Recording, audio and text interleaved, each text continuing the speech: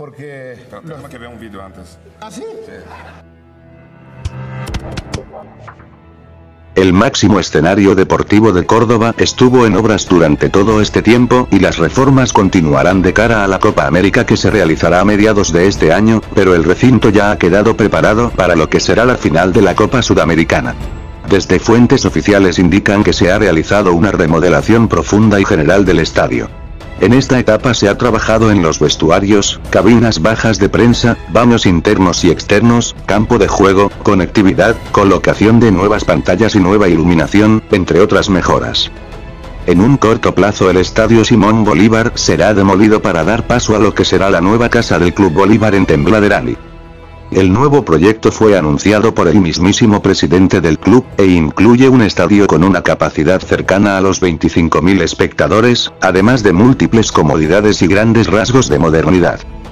Desde el club pretenden que su construcción comience en la gestión corriente y finalice en 2025, siendo una realidad de que se realice lentamente, o por etapas. La obra tendría una inversión de 25 millones de dólares para dar paso a un nuevo escenario más tecnológico, con pantallas inteligentes y dispositivos de realidad virtual, entre otros lujos y comodidades inéditas en el deporte boliviano.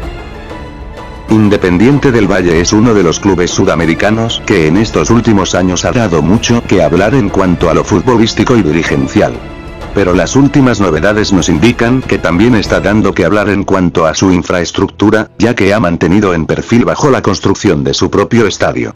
Por ahora, la tribuna principal, con capacidad para albergar a 5.000 aficionados, ya está casi lista, según se ha podido observar en algunas imágenes compartidas en redes sociales.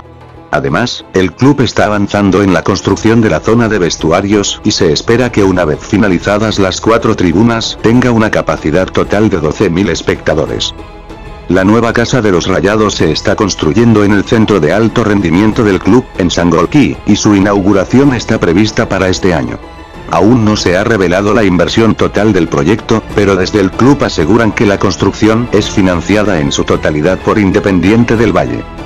Hace algunas semanas ha salido la fuerte novedad de la realización de un proyecto entre el reconocido Grupo IDOM, y el Club Universidad Católica, los cuales han presentado una remodelación para el Estadio San Carlos de Apoquindo, que ampliaría su capacidad a 20.000 espectadores, y vendría con novedades ultramodernas y ecosustentables.